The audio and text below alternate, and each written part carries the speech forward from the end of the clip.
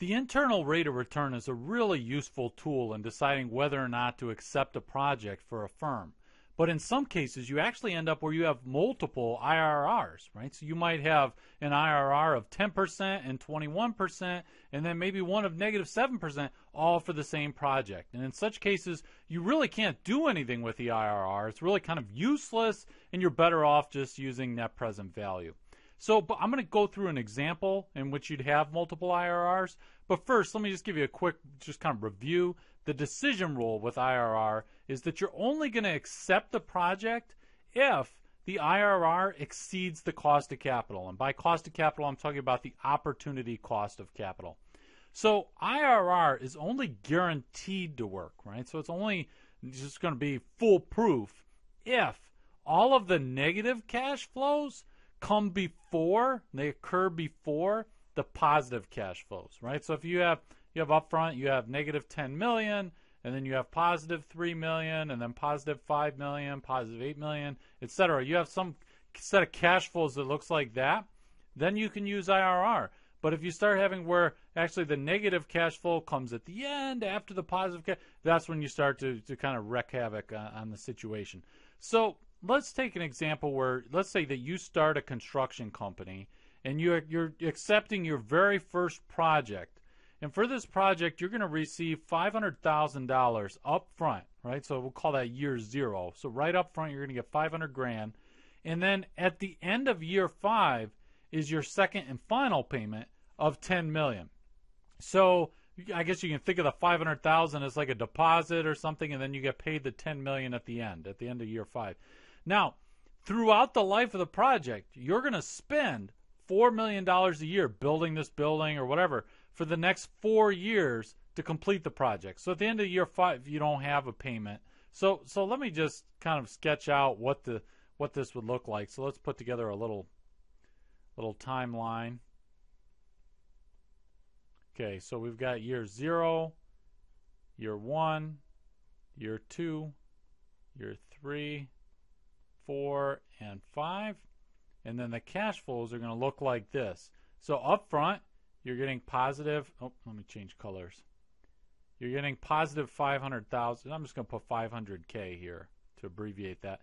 And then in year year one, negative 4 million. I'll just put negative 4m.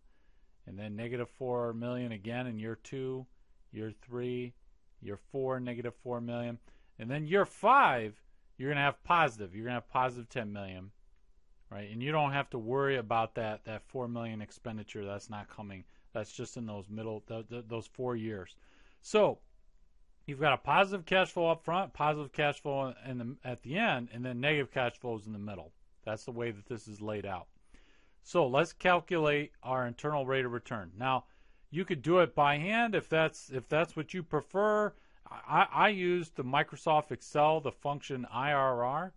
So you just put an equal sign and then IRR and then in parentheses, so I've got the parentheses here.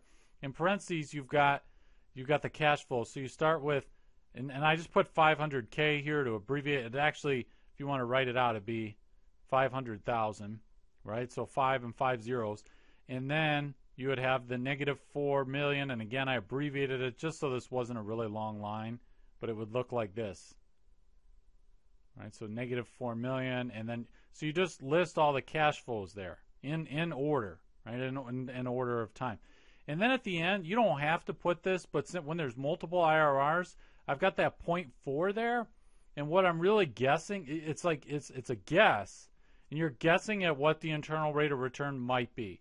So in this case, I'm saying like, oh, let's let's you know tell Excel to look around 40%. The reason I put a guess, I ran it once without a guess and then once with a guess because when you when you have more than one IRR, if you don't put the guess, it's just going to return one internal rate of return to you. It's not going to say, yeah, actually there's three, and here are the three. So that's kind of a failing maybe of, of Excel. But so I put I put a little. If you make some guesses with it, then it'll end up revealing all the different IRRs. So in any event, you don't have to focus too much on that here. We're just kind of concerned with the intuition. So your IRRs are going to be negative 17.24%. Let me put this here Hope you can see that. I'm running out of space. So negative 17.24% and 799.61%. So that's a, a pretty big difference there, right? So if you just looked at this this one here and said, "Oh wow, we've actually got a negative internal rate of return," but then you look at this and it's this ridiculously high number. So the reality is that you should be ignoring both of these because when you have more than one internal rate of return, I mean, in some cases the the the in between amount. So it'd be like anything in between these two numbers. In some cases, it's it's positive, and you should accept that project. And then sometimes, but but it just as easily could be that anything in between those two numbers you should reject. So so really, don't try and get into reading into this at all. If there's more than one IRR, just ignore the IRR altogether. And what you really want to be doing is you want to look at your net present value and so I've, I've just kind of put here if you were going to calculate the net present value, um, you, have got. I'm not going to go through the, the, all the calculations for you, but uh, uh, I'll just give you the end result. So here, so you're you'd have negative five million. Oh, let me negative five million nine hundred and seventy thousand two hundred and forty nine.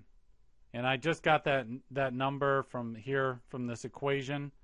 That gives you the negative five million nine hundred seventy thousand two forty nine. That's the net present value of this project.